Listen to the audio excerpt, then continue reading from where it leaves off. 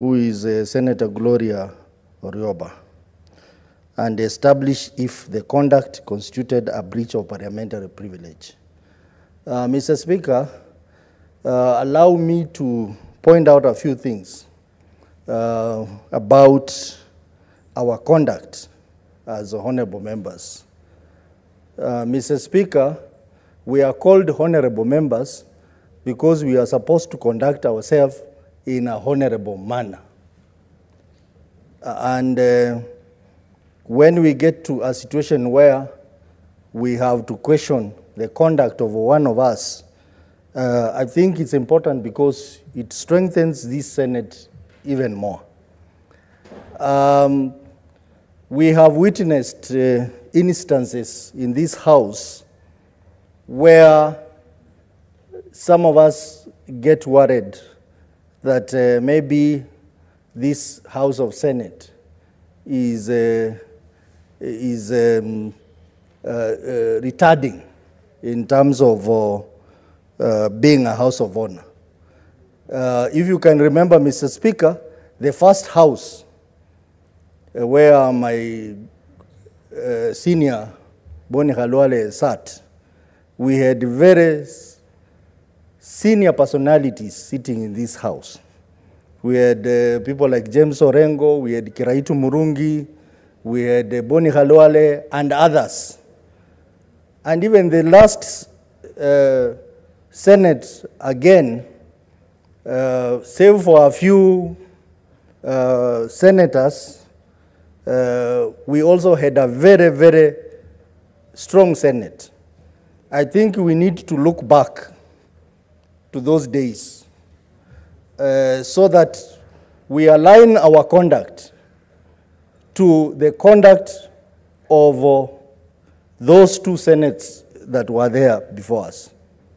Secondly, Mr. Speaker, this is a house of rules. This is a house of tradition.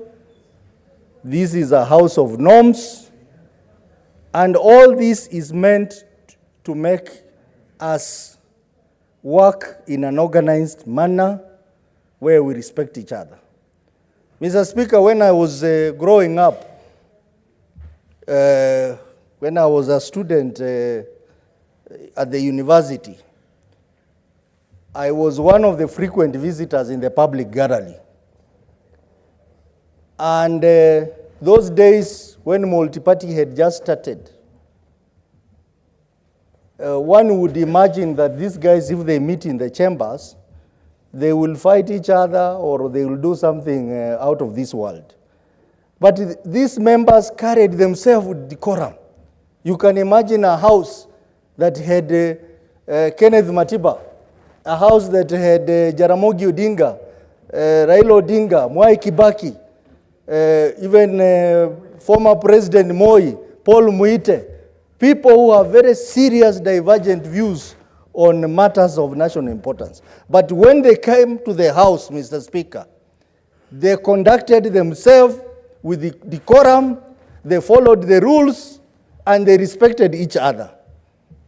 But we are beginning to see that scenario is quickly, quickly disappearing from uh, our houses. And uh, it should be a, a, a serious concern. It should be very serious concern. Mr. Speaker, this particular member, I happen to have sat in the same committee with this member. And this member sponsored a bill on Konza Metropolis, uh, Technopolis bill. And the committee tried its best. We gave our input.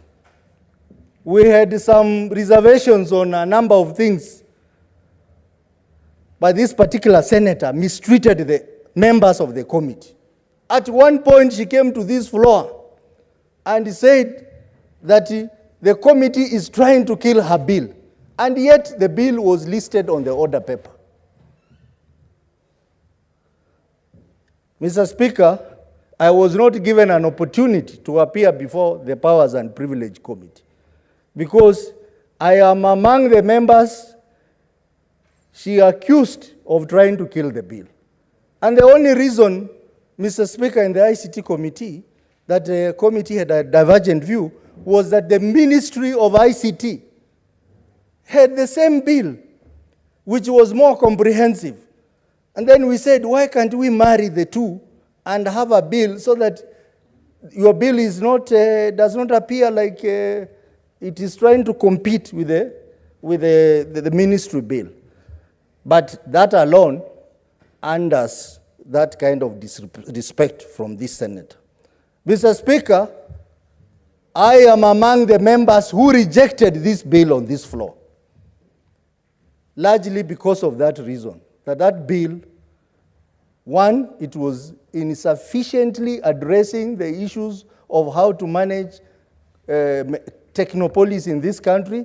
Number two, the ministry uh, of ICT was in the process of uh, processing a similar bill.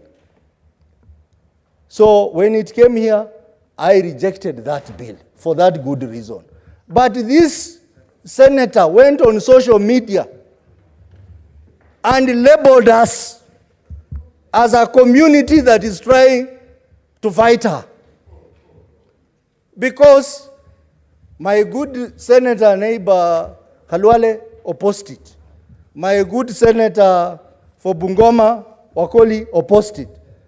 Just because we share the same tribe, she went and blackmailed us on social media that we voted against the bill because we are Luhyas. I voted against the bill, Mr. Speaker, because of the reasons I've stated.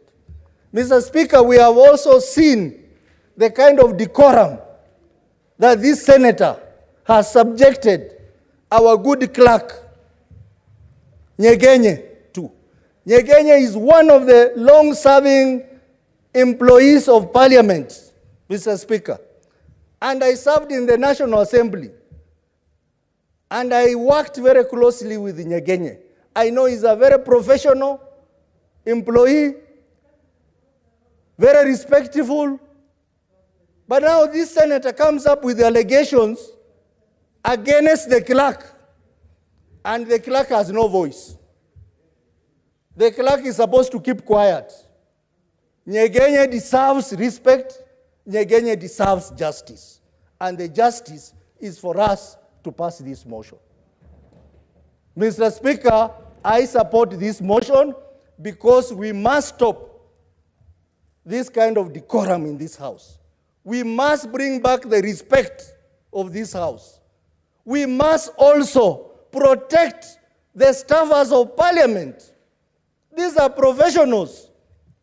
These are not people who are in politics like us, that we subject them to social media. They have no avenue to defend themselves. And then you use the privileges of this house to come and fight these innocent staffers.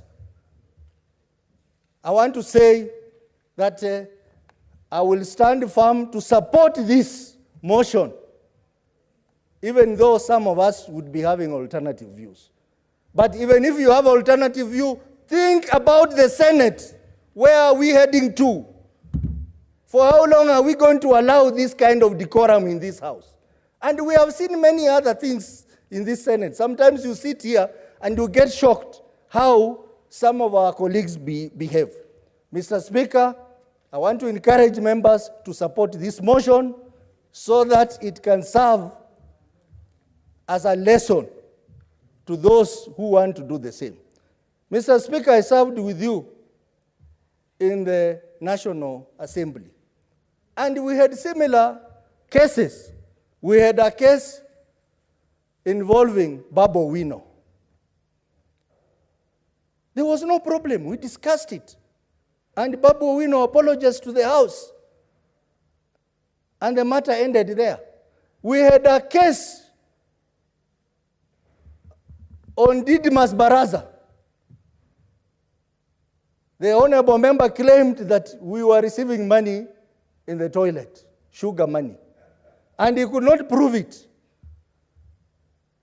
And when he went to the Powers and Privilege Committee, they found out that he had a case to answer.